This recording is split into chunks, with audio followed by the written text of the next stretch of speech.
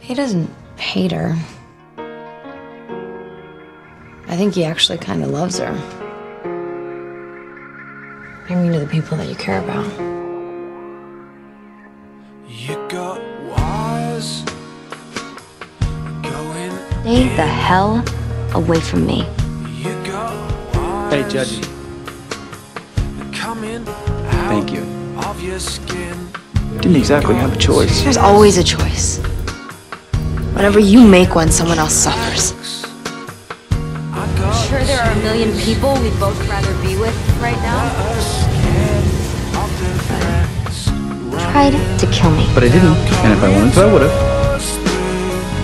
Does that not count for anything?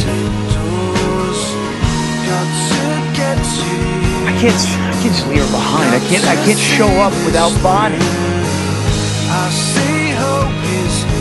couple thousand at most. Careful, Damon. You might start to think you actually care.